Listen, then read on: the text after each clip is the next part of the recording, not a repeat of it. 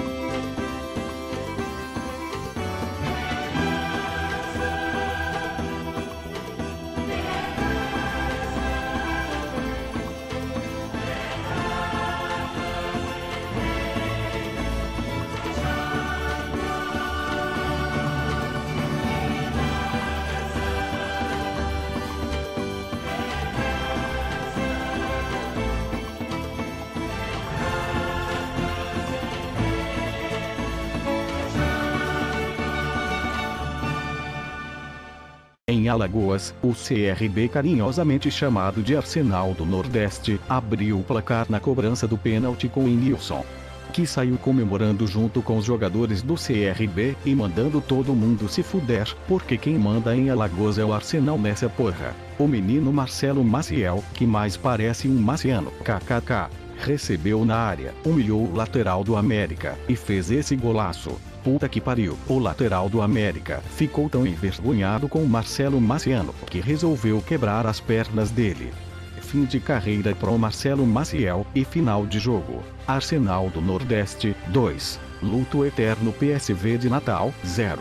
No Arruda, o juizão ajeitou o cronômetro e gol do Santa Cruz. Sempre ele, o menino Arbeloa Fonseca, o maior zagueiro do Nordeste em altura, abriu o placar para o PSG. Boatos que o Renan Fonseca faz mais gol que todos os atacantes do Náutico. Vai se fuder Felipão, Renan Fonseca é seleção.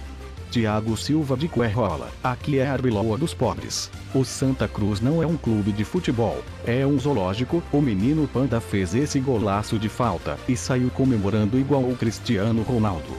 Vai se fuder goleirão, levar gol de urso tem que apanhar de cinta. E para fechar o caixão, o menino Cassiano, mais conhecido como Cavani Negro, fez esse gol depois de 5 anos de carreira. Final de jogo, Santa Cruz, o PSG de Recife, 3. Guarani de Sobral, mais conhecido como Brasil de Pelotas sem grife, 0.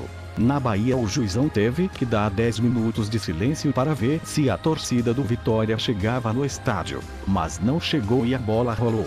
O menino Magno Alves, com apenas 82 anos, subiu no primeiro andar para fazer Real Madrid 1 a 0. E se o Ceará subiu no primeiro, o Vitória subiu no segundo, kkk. Gol do Dinei cabeça de desodorante Rolon. Final de jogo. Milan da Bahia 1. Ceará Madrid 1. Na Ilha do Retiro, a torcida do esporte resolveu ficar em casa porque o jogo ia passar na Globo. Mas Neto Baiano, que mais parece o Coririm, abriu o placar pro Leão e saiu vibrando para o banco de reserva, já que não tinha torcida.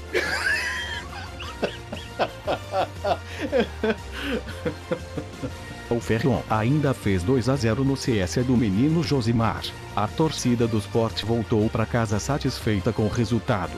Final de jogo. Sport, o Milan de Recife, 2. CS, o Havaí sem grife, 0.